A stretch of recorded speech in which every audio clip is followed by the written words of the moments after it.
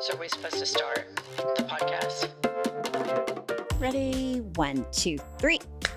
That was good. Did you notice that I Felt good. went right after you?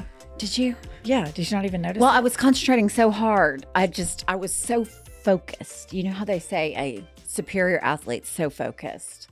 I was in my Tom Brady clap mode. there you go. Yeah. All right. All right. Meemaw. What have you had it with today, Meemaw? Oh, had the worst experience and I've had it. When you're on a retail site and they say, Do you want to chat? Normally I say no, I don't want to chat. In this particular situation, I needed to chat because I needed to know what size I was. So I say, What size am I if I wear this size jean? The person comes back, To whom do I have the pleasure of speaking with? And I immediately think, Why do you fucking care? We don't know each other. This isn't friendly. So I text back Angie, if I'm this size jean, what size belt am I? To which the response is, Hi, Angie.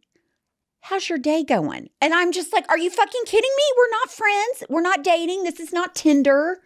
this is, this is my jean size. What's my belt size? So we have, I counted it up, four different texts about me and my day before I even get a response. And I'm assuming it's a computer. It's a robot. Yeah, it's a robot. So I know for a fact the robot doesn't give a flying frog's fat ass how my day is or what my name is. The icing on the cake of this conversation that took entirely too long was that I got sent the wrong belt size, which I ordered. I just ordered what the computer told me Right. and we just had to take it up and I had to have an extra hole put in it because it was too small. But what I ha- so my had it is I've had it with these retail chats that want to be best friends and make it a match.com Tinder situation when it's just here's my question, I just need an answer, full stop. We're not friends. I think that this goes to the larger point that I just miss talking to people. Just, uh, just how can I help you today? I'm a size this. What size belt do you think I should get? Right. I think it's this or anything else. But we go through now the robots are going through these extra pleasantries, and the robots are incapable of landing the plane as well. Here's my thing. I am not pleasant. I am particularly not pleasant when I'm shopping. So the last thing I want to do is be pleasant with the robot online. I've had it. I mean, it's just, it's too much to ask to be best friends with a robot when you're just trying to buy something. Were you mean to the robot? Did you Karen the robot? Well, I just kept saying, What's my belt size? But it just irritates the shit out of me because now I'm like, number one, I should have just, for all the time it took me to exchange pleasantries with the robot, I could have just gotten a tape measure out and done the math. But I didn't because I thought it'd be quicker. So you mad at you or you mad at the robot? I'm mad at the robot, but as I talk about it, I'm getting mad at me. You're going to care Karen yourself. I'm getting Karen myself. Just get your fat ass up, Angie. Get the tape measure. I think it'd be more effective if you said, "Get your fat ass up, Meemaw." Mima, Listen up, you old hag. you old bitch. Get, Get up. Get your tape measure out. and just do it. Yeah. All right. Let me tell you what I've had it with. Okay. I'm probably going to get a lot of blowback from this, but I'm just it's been it's been sitting in my craw for a while, and I've just decided to come out with it. Okay. Oh yeah, that's my happy place. I haven't heard that in a while, but you're so right. I have had it. I have had it up to my eyeballs with people identifying a specific geographical location as their happy place. Because I've started to notice something. What? There's a common denominator among all of the happy placers. They're miserable when they're not in their happy place, and they're miserable in their happy places.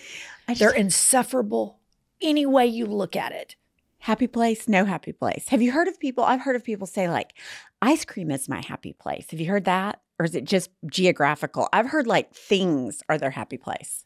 That's just a, another layer of this that I wasn't aware of. Mm-hmm. And that gives me an extra new thing to be mad about. So thank you for bringing that to my attention. Yeah.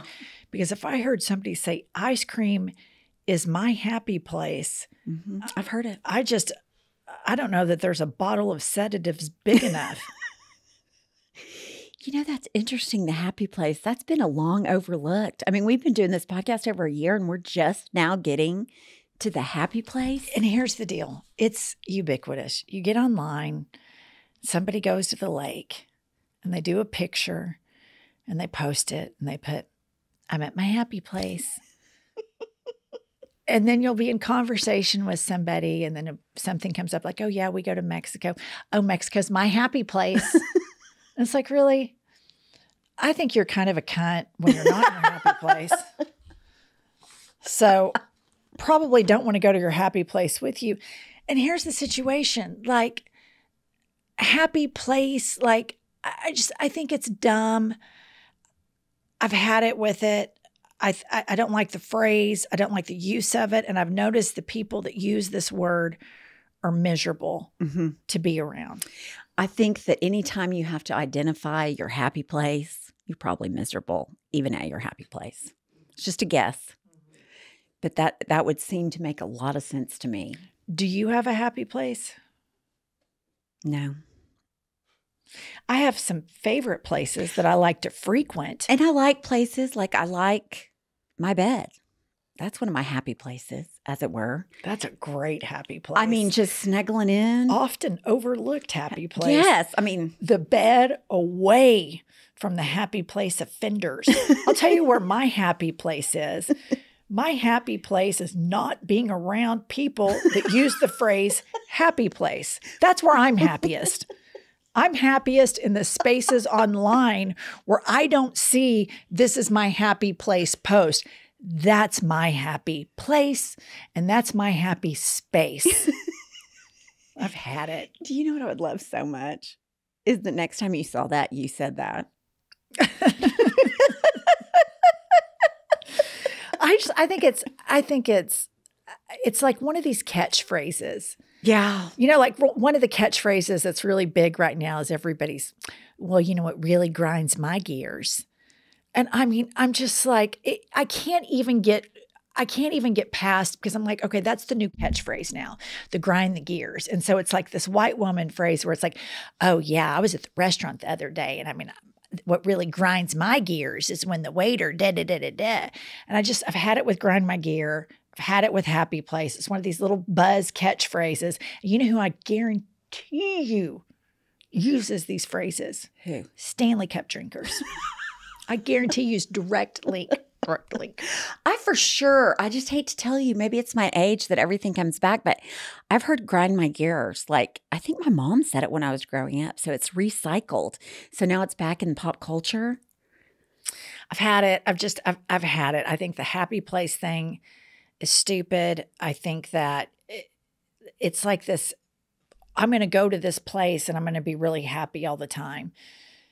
There's no geographic cure for how miserable certain people are. No, there's no geographic solution to emotional problems. That's right, Pumps, because if there were, our podcast wouldn't exist. We would go to the happy place. We would leave and go and We be would go- happy. We would go produce um, I'd hit it podcast from our happy place. Oh my gosh, that would be great. Uh-huh. That's a good. What are you hitting today? Well, I'm hitting everything today because I'm in my happy place. I got up this morning, I fucked my husband, I ran 10 miles, I just did hot yoga, and then I just ate an uh, acai bowl and meditated because I'm in my happy place. Right. Nothing but happy thoughts. And I had a coffee with coffee art on top of it. And I posted that from my happy place Instagram account, drinking my happy coffee from my happy place. How about, and I took 27 solo pictures of myself with 47 filters to tell you how happy I am at my happy place. You know what? I have a great idea. Let's start making posting this is my unhappy place. Oh my gosh, that's a great idea. yes, like you're at your desk at work, at my unhappy place. Oh my gosh, that would blow up the internet, I at, feel like. at dinner with your husband, post a picture of him sitting across from you. At dinner at my unhappy place. Just had sex at my unhappy place. I'm telling you, That's that's, a- That's a winner you know right there. what? you know what? I've been doing these social media breaks where I document my social media Yeah. break online. Right. I'm going to do an unhappy place series on my social media. I'm at my unhappy place. I think that's brilliant. I think that's great. Kylie, what do you think? I love it. I think it's viral. Welcome to I've Had It podcast. We host this podcast from our unhappy place, the I've Had It podcast studios. I'm an unhappy host. My name is Jennifer, I'm Angie, also with an unhappy heart, unhappy place. and she is an unhappy Mima. She is America's unhappiest Meemaw. Mima. That's right. I am hashtag unhappiest Meemaw. That's right. That's Nailed right. it. Kylie's here with us today. Kylie, is this your unhappy place? Where we're at right now? Yeah. Yeah. How could it not be?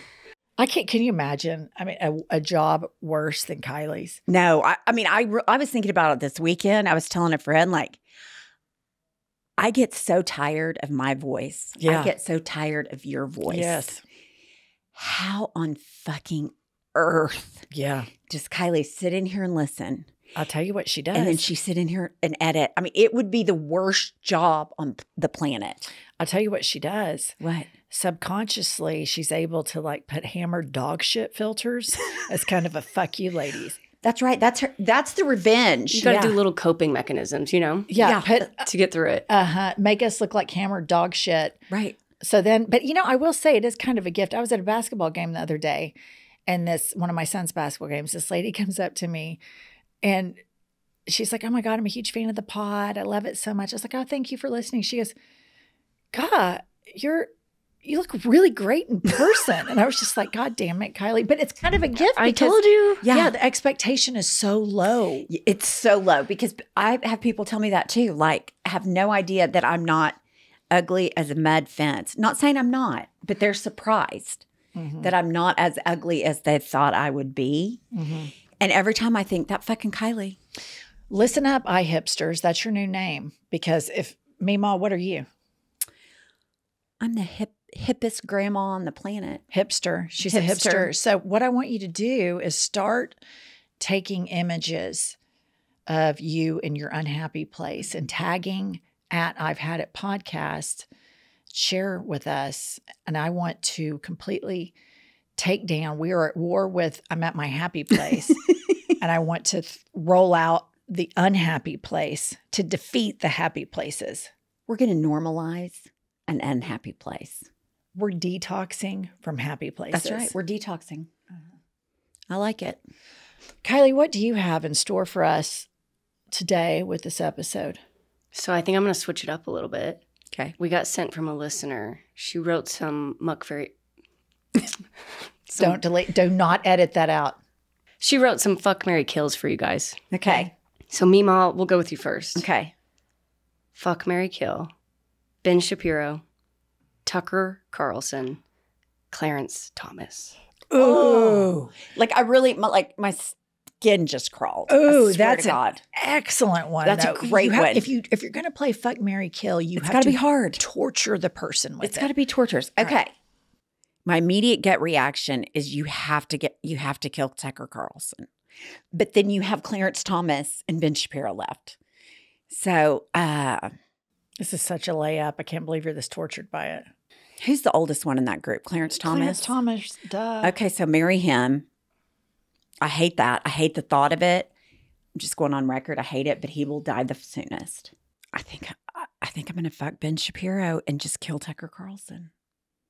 I mean, they should all be dead. I mean, they should all not be on the list to have sex with in any capacity. Here's what I would do in that situation. Okay. I'm killing Clarence immediately because But he's the oldest. To save the world? to save the world, Biden would immediately get a pick. I'm killing Clarence. I am fucking Ben and I'm marrying Tucker. Oh, see, I just can't. I just I, they're all bad choices. There's no good. But Clarence gets killed immediately. Here's here's the thing.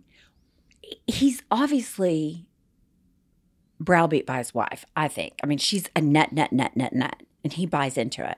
So maybe I could browbeat him and bring him to bring him to sanity. Maybe. I think it's just an opportunity to Yeah. save so many more people. I just hate Tucker Carlson. Well, who doesn't? No, I know that doesn't put mean- me in a small I mean, group. Everybody hates Tucker Carlson. Yeah, I mean, I hate Ben Shapiro too. Everybody hates Ben Shapiro too. Everybody I mean, they're the most unlikable, unfuckable, Unfuckable. unmarriable people on the planet. But for America, you got to take out Clarence. I mean, it's just a it's a layup. I was shocked it took you that long. If you're a patriot, If Patriots patriot. take out Clarence immediately. All right, Kylie, what, who's mine? I got three that are that are runner ups for least fuckable people in the world.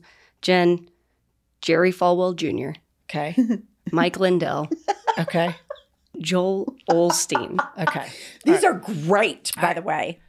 I'm killing Joel because at least maybe some of these old people that give their money to him can keep onto it a little bit and they can quit getting grifted. And um, I oppose uh, the expansion of evangelical Christianity with everything in me. I think it does nothing but harm the country and its followers. So Joel is dead. um, I'm going to fuck Mike Lindell Yeah. on a MyPillow. Yeah, it has to be I'm on gonna. I'm gonna use a, That's my. I'm gonna use a pillow over my head. over his head. Uh, I'm fucking Mike Lindell, and I'm marrying Falwell Jr. because I kind of think he's gay. I don't think I'd have to fuck him. very He'd let you fuck the pool boy. You could fuck exactly. Right. Jerry Falwell Jr. I can do whatever I want to. as long as he gets to watch. Yeah, yeah, I mean, that's a. I mean, I feel like yours is easier than mine. yeah. I I wasn't that tortured by yours. I mean, it was an immediate no-brainer. Clarence is gone. Get a new appointee in there ASAP. I'm clearly a lot more patriotic than you are, but that's neither here nor there, Mima. Just a selfish Karen over there fighting with robots in your unhappy place. That's right. All right. All right. Speaking of evangelicals, Yes. we got sent a very alarming story. Okay. So I'm going to read this article to you. It's titled How Evangelicals Use Digital Surveillance to Target the Unconverted. So there's an app called Bless Every Home, which has been backed by some of the biggest names in evangelical circles. And it's mapping the personal information of immigrants and non Christians in a bid to conduct door to door religious conversions and prayer walking rituals through their neighborhoods. Oh my God. It puts a lot of features at the fingertips of the faithful, including the ability to filter whole neighborhoods by religion, ethnicity, Hispanic country of origin, assimilation, and whether there are children living in the household or not. How do they get this information? I want to know. That's creepy. Here, here's the problem with evangelical Christianity is it is incredibly toxic. It goes against everything if you're trying to get your life in order and find serenity and stay in your lane and mind your own business. It goes against everything your therapist would tell you to do. It tells you to get up in people's business, that it is your business. It tells you to get up in what they're doing with their kids. It advises overt toxic behavior. And here's the thing about it, too they don't really care about how the person behaves. They just want the person to say, I accept Jesus. That's the bar. That's it. There's no plan beyond that to make people better people. It's just this conversion rate. It's a racket. It's a total racket. I remember one time my nephew was over at my house. He's a federal agent and uh, not religious. Nobody in my family's really religious. Great guy. And these guys come to our door. It looks like probably like a, I don't know, maybe a 60 year old, maybe a 40 year old. And I have a kind of a glass door. And they come to the door and I look and I said to my nephew, I go, Well, you go get it? It's two weird guys at my door. He goes, Yeah, I'll go get it. And all I hear is my nephew going, Look, buddy, you came to the wrong house.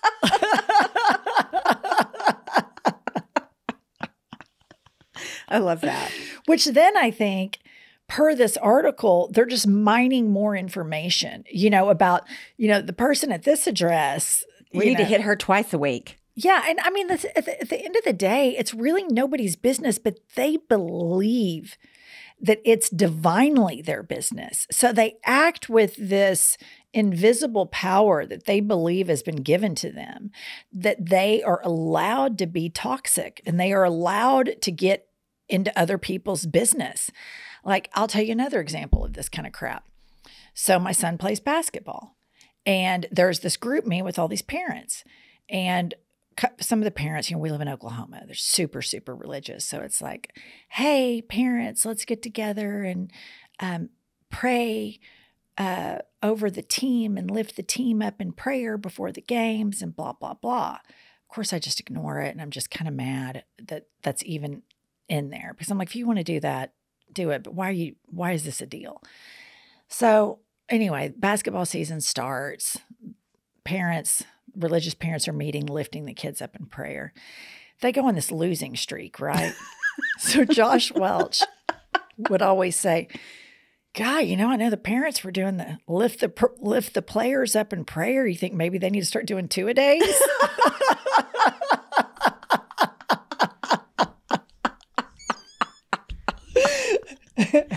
Clearly, they're not doing enough. All right, listen, Patriots. We have a guest today and her name is Caroline Baniewicz. She is a comedian, a singer, a writer, and an actress. And she's performing stand up all around New York City. She's apparently hilarious. We met her once in mm-hmm. New York. And so we thought it'd be fun to have her on the show to hear what she's had it with. Do you suffer from having a parasocial relationship with two barely competent middle aged women? If so, please go to I've had it podcast.com or to any social media site. I'm talking X, formerly Twitter, Instagram, TikTok, etc., and click the link in bio and come see us at the Hot Shit Tour. Make your parasocial relationship real at the Hot Shit Tour. Right, Pumps? Tell them. It's so fun. We hope to see you there.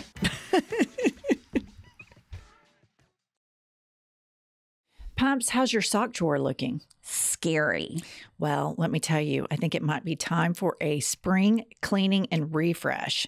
Great news for you. Bombas, your favorite sock brand, has just dropped a bunch of absurdly soft new socks, tees, and underwear to help you get that drawer in a better place while doing a little good. What I like about Bombas is one purchase equals one donation. Every time you buy their socks, tees, or underwear, you also donate essential clothing to someone facing homelessness. To date, Bombas has donated over 100 million clothing items and counting. Not to mention, these socks are so incredibly comfortable. I love their socks. They are so cozy. It's like walking on a cloud. I love, love, love them. Listener, get comfy this spring and get back with Bombas. Head over to bombas.com slash hadit and use the code hadit for 20% off your first purchase. That's B-O-M-B-A-S dot com slash hadit and use the code hadit at checkout. All right, Caroline Baniewicz, how are you today? Welcome to I've Had It. Thank you for having me. How are you guys? We are great. We wanted to, we were just reviewing some information about you. Okay. And we are very intrigued by homeschooling mm-hmm. and mm-hmm. homeschooling culture. And you're from oh, Texas. Yeah. So tell us about being homeschooled. What grades was that your whole life? My whole life until college. So I did go to, I went to, I went to Oklahoma City University. Okay. Oh, that's where right, we freshman. Yes, right over there. So, um, which was great. I went there for my college years.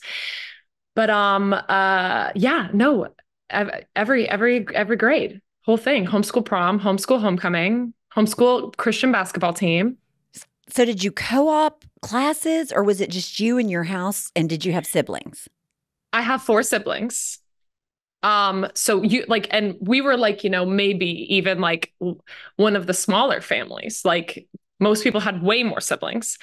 Um, we kind of did it all. So there are there's like online um curriculums that you'll buy. When I say online, it's like the you bought like the VHSs or the uh, DVDs. Was this the IBLP curriculum? No, it's not, but I I am familiar with it and I do know people whose parents like were a part of it or trying to be a part of it. They had such intense rules. Like you you actually couldn't apply unless you had a certain amount of kids. Oh, But I will remember when I watched Shiny Happy People, the uh the diagram where it's like the umbrella and it's like God, the father, as in um the man in the family, and then the mom and then the kids, like that umbrella. I had seen that before. I'd seen that and I'd seen thing, things about the modesty. Like I had recognized those things. So I I have seen those. Um so I, I what I what I say if you've seen that documentary, Shiny Happy People, um, I'm like the light version of that. I'm the diet, Diet Coke version. Did you learn evolution in your homeschooling? So were you homeschooled for religious reasons? Yeah, uh, yeah, yeah. Like in my, I homeschooling became legal like when my oldest sister was starting pre-K. So like we're like the first generation of homeschool or home became legal in Texas where I'm from. We're like the first generation of homeschooled kids from Texas. Well, so that was that weird going to college and you're around all these other people and you're living on your own. That had to be a huge shock. It was such a shock. And like I I like I went to a smaller school and like I I almost like can't believe that I was unleashed on like the kids at my school. like I don't like I'm not like like I I I I'm not super close with anyone I went to college. Well, I am I am close with people I went to college with, but I'm not super close with like a bunch. I also went to a smaller school. But I am like, wait, you guys, was I crazy? Like I need to know. Like did you guys know I was crazy and I hasn't hadn't unpacked everything yet or were you guys just like dealing with this kid? But also everyone's kind of crazy. Like Yeah. But um no, I was in the car with my um my boyfriend. My boyfriend has a car. I just not to, to flex. Um but my- so I was like so my boyfriend does have a car. I was in the car with my boyfriend who has a car.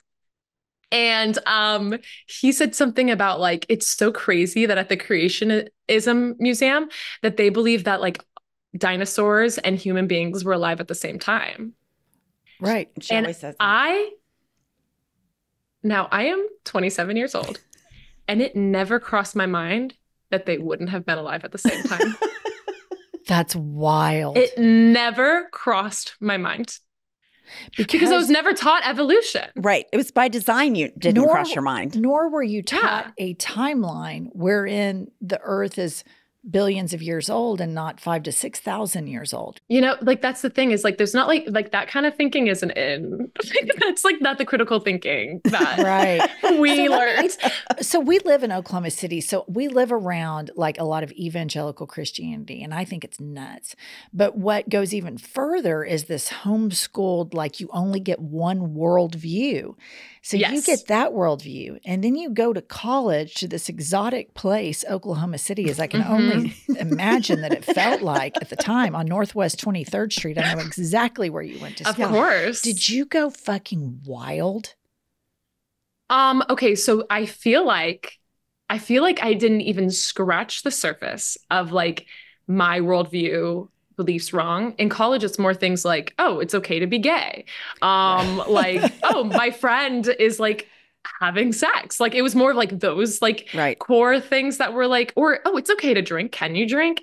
Things like that. So I didn't go like nuts. I think like I it was really hard on like shame and like guilt and like yeah. probably those that's like the the the trauma i think that i struggled with in college um i like that's why i'm kind of like i don't even think kids i went to school with and maybe they did and they they maybe they were being really nice to me but like i would have thought i was such I was so crazy but i i don't even think i realized how crazy i was so i didn't go crazy um i feel like i was pretty tame but i was still like a fun hang i was a fun hang See, I had kind of the same experience. Like I went to college and I was like, oh, you can have sex. Like I wasn't re- I Yeah. wasn't homeschooled, but it was a super religious, like purity culture, the whole nine. So it was like, oh, modest is hottest right. I mean, modest is hottest. So this is we'll get to what you've had it with in a little bit, but this is something that we're so interested in. So you go to college and you realize, oh my gosh, so people can have sex, Right. And what did you take a biology class at college? When did when did that kind of because that's what's so fascinating to me. Like somebody can be Mm. raised without that idea not the idea, the fact that we evolved and that the earth is old and that your whole childhood was void of any of those facts is fascinating to me. Yeah, I think like okay, I was a music major and I don't think I needed to take my, I think my science credit was like a lab. Like it was like not like it it wasn't it wasn't a biology class where I would have had to deal with like confronting that. But I will say like there was a friend who had who had gotten chlamydia while I was at school. and I thought like they were gonna die. right. I was like, oh my god, not an STD, you're gonna die. Right. Right. But biology, no. I do remember I gave like a presentations in a world religions class um, where I talked about Noah's Ark. And I talked about it as if it was a um, historical event. And my teacher gave me like a, a lesser grade because she was she was saying like some of this is metaphorical. And I was like, no, this is all literal. um, I was like, what are you talking about? But I was I was a musical theater major. So it was mostly just like you know, uh, singing and dancing. How it was did more you just get how did you how did this unravel that that you had been raised in this kind of world where you were presented things that are facts that are not facts? totally. I think like a lot of it was like mental health stuff. Like I so I like really struggled with um not to be a downer, but I really struggled with like depression and stuff. And when I would like go to my mom or like go, I had like a, a mentor here in the city when I'd go to them and like be like, I'm really struggling. They were like, you know, pray. Oh. Just let, pray. let me ask you this. Do you think that your depression and stuff was a symptom of suffering from religious trauma? I I do. I do feel that way because it's like um it is so much judgment. It's like everything you do wrong and I I remember even like I wanted to be a singer and an actor when I grew up and I remember talking to my mom in the car and asking like is it sinful that Selena Gomez is a singer and a Christian but she's not singing Christian music. And it's like it's I don't know, it's like everything has to be right and you have to be doing if that makes sense. Like why a kid should just be able to listen to Selena Gomez and have fun, no problem Right. Right. it's i always say like um i don't always say like i have a joke that's uh you know i love god but the bible's god's word and you know i'm 27 i stopped taking men at their word a long time ago like you know what i mean because it's just not making sense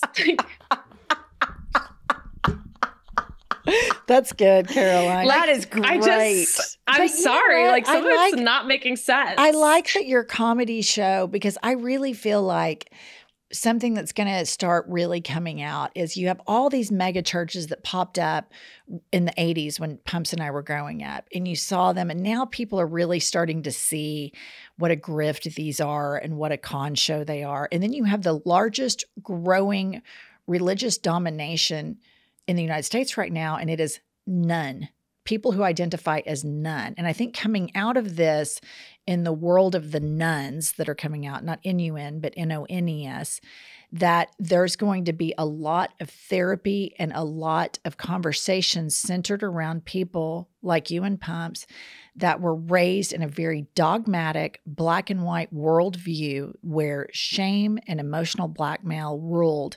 Because there's no way that you can do that to kids without there being damage. We talk about emotional abuse with a husband, but we don't talk about emotional abuse with a church or a religion. And it really is abusive to tell people that they're dirty or if they masturbate, that that's the devil and it's sin. Like I remember my high school boyfriend, his parents were real big Bible thumpers. And of course, we're having sex. And he had all this shame, and his mom had caught him masturbating one time, and she just shamed him, told him it was the devil. This is like a 16 year old kid. Of course, he's beaten off. Right. Yeah. know, Find I me one that doesn't. Yeah, I, I completely agree. I think it's really corrupt. I think like uh organized, it's like hard with churches too, because I think like so much of the organized um like religion is corrupt. And you see these documentaries about the churches. Oh. And the other one that really makes me sad is um these really young marriages. Yeah. And it's like, well, they're both they're both Christians, so like, you know, he's a God honoring man. Like she can't be in danger. He can't be abusive. Like, let's Right. have let's have five kids before we're 25. Right. I always think when people get married super young, I'm like, okay, so they wanted to get married to have sex. And then yes, of course. and then I think, you know, before they both even figure out who they are, they're going to have Mhm. kids and they're going to be stuck. I mean, it, it it's has the ability to put someone in a. re- I mean, not saying it always does, but just I worry for people that get married so young with zero life experience, and then you go through life experiences, and you're like, maybe this wasn't for me, but you're stuck. I mean, you're already in. It'd be, a, you know, a sin to get a divorce and all that. So, you know, I also just like it's sad. Like there's so much of their life they're missing out on. Like, yes, but I'm sure they look at us and they're like, "How sad." But I, I don't know. I'm not sure. hurting anyone. There's- I'm not hurting anyone. right. I'm minding my own fucking business. Like, right. I don't give a shit what you do. And I'm sorry, but like, where's you came? Normally, we like to talk about stuff we've had it with, but Pumps and I are so wildly interested in homeschooling, Right. bizarrely interested in it. And then, Anything like, you need. we read your bio, and it's like homeschooled in Texas. This sounds like some fucked up Christian shit. Let's go. Pumps, when we first started the podcast and discovered Shopify, we were such little small potatoes. Now the podcast is gaining steam. And the great thing about Shopify is it has grown as we've grown. It has helped us at every stage of our adventure into selling merch. Shopify makes selling your merch so easy. It's an overwhelming prospect to think, how am I going to get listeners what they order? Shopify makes it easy. I agree. And that's because Shopify is the global commerce platform that helps you sell at every stage of your business. Whether you're selling scented soap or I've had it podcast merch, Shopify helps you sell everywhere. Sign up for a $1 per month trial period at shopify.com slash had it, all lowercase. Go to shopify.com slash had it now to grow your business no matter what stage you're in. Shopify.com slash had it. Okay, so let's play a game with you called Had It or Hit It. Oh my God. Welcome to Had It or Hit It. I would hit it. Had it. Had it. I hit it every day, sometimes twice a day. Okay, you live in New York City now, right?